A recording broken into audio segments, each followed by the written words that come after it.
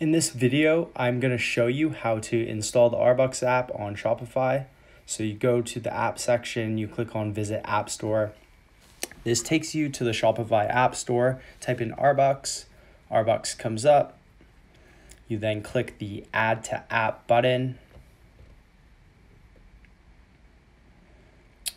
You're then taken back to Shopify where you then integrate rBux with your Shopify store.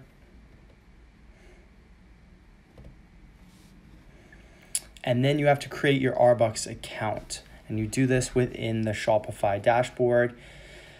A few of the fields auto populate. You have to enter some information.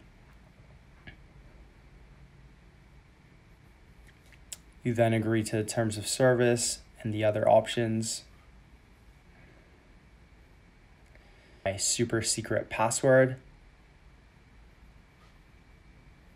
And I get into the next stage, which is picking my category.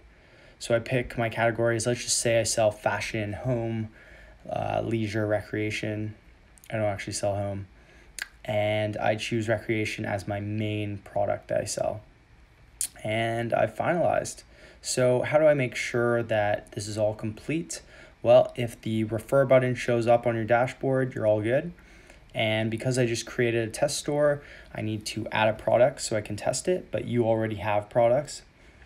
So I create a test product for rBux button.